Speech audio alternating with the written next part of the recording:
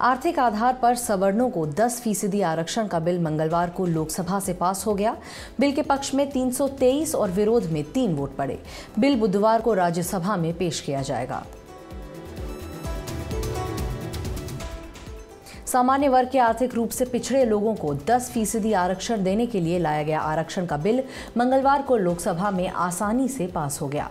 करीब पाँच घंटे की चर्चा के बाद बिल पर मतदान हुआ। मतदान में बिल के पक्ष में 323 और विरोध में तीन वोट पड़े। आज बहुत अच्छा लगा, क्योंकि वास्तव में कई दिनों से मेरे भी बच्चे मुझे पूछते थे कि हम हम क्या? जो गरीब से गरीब उसका क्या? केवल जाति होगी क्या? कई सारे प्रश्नों के आज उत्तर मिल गए। ये बात भी ठीक है कि जॉब यानी तुरंत जॉब मिलेगा, ऐसा नहीं।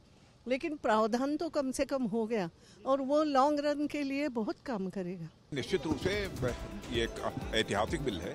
और जिन लोगों को अब तक आरक्षण का लाभ नहीं मिल पाया था, ऐसे सारे लोगों को आरक्षण का लाभ मिलेगा। बिल के पास होने के बाद प्रधानमंत्री नरेंद्र मोदी ने ट्वीट करके इसे ऐतिहासिक बताया। लोकसभा से पास होने के बाद बिल बुधवार को राज्यसभा में पेश किया जाएगा।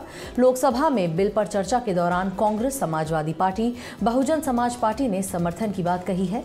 अगर लोकसभा की तरह राज्यसभा में भी ये पार्टियाँ समर्थन देती हैं तो सरकार के लिए बिल पास कराने की राह आसान हो जाएगी।